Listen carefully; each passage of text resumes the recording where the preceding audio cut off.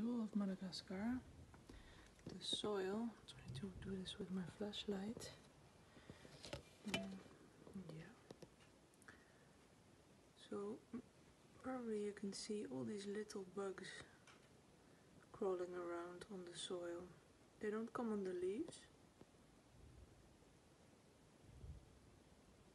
And they don't jump or run away when you try to touch them. I don't think there are springtails because they are not uh, thin and long. They're kind of like round. And I'm wondering if they're thrips larvae or nymphas, but I'll go there with my camera there you see a lot more.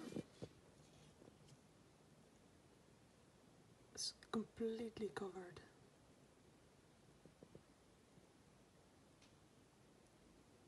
And I don't know what to do. I took two plants, had it, and I just changed the pot, changed the soil, and threw everything away. But I don't know. Here, also on the edge of the pot, completely covered. These little burgers. What is this? I searched all over the internet and I really cannot